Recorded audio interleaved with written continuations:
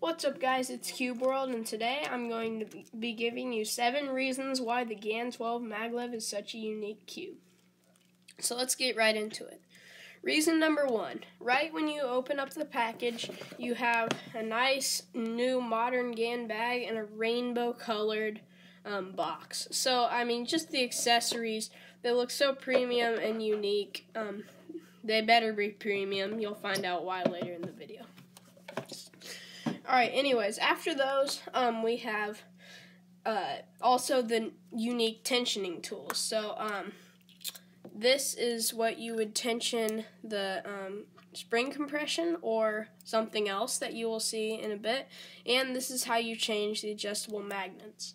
So, um, number two is it's GAN's unique tensioning system. Okay, so number three, um, is the adjustable magnets that the GAN 12 maglev features. So, um, number three, I guess, is just the magnets in general. Um, so the cube, if you don't know, aren't familiar with the GAN 12, it can do this.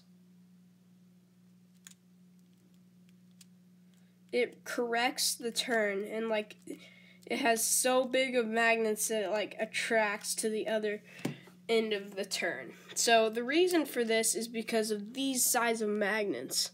That's a humongous magnet. It's the biggest core magnet that has ever been seen in a cube.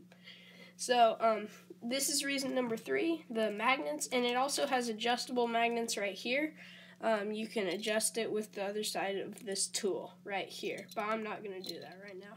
I like the magnets at the medium setting, um, but I tried them at strong one time, and it's just obviously a little too strong. As you have these big of magnets, you don't really need to make them stronger.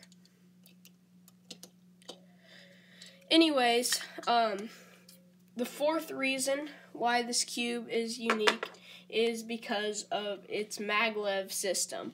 Now, maglev, as you might have seen in my maglev 5x5 video where I described it more, check that out by the way, um, is where you use repelling magnets instead of springs to make the cube go so much faster. Sometimes uncontrollably fast. Um, so that is another reason why this cube is so unique. It has um, maglev in it.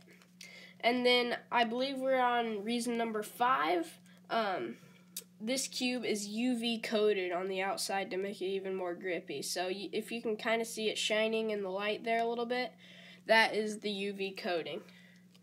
Um, the sixth reason this cube is unique is that it features many collector's editions like the GAN 12 Chan and the GAN 12 Peacock.